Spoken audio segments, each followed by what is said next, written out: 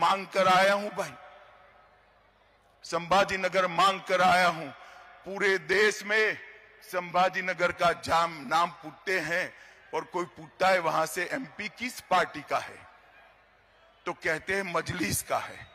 क्या आप लोग आज यहाँ से तय कर कर जाएँगे कि ये मजलिस को उखाड़ कर फेंकेंगे और मोदी जी को एक कमल यहाँ से भेजेंगे?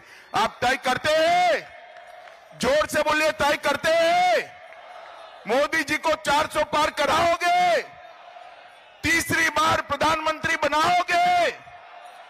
भारतीय जनता पार्टी को 370 पार कराओगे। 2047 में विकसित भारत बनाओगे। तो मेरे साथ दोनों हाथ उठाओ। सभी लोग अंत तक दोनों हाथ उठाएँ और 400 पार का